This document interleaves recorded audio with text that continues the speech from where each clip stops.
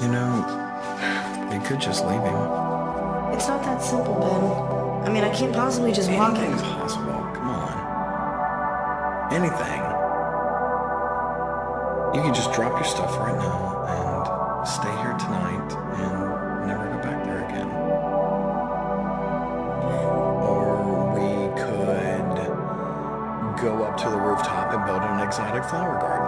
Or we could take one of my cameras and dress up like homeless people and infiltrate their community and take pictures of their lives. Or we could take my TV and throw it off the balcony and replace it with coloring books. Or we could leave Terminus tomorrow. New Year's fucking Eve. We could.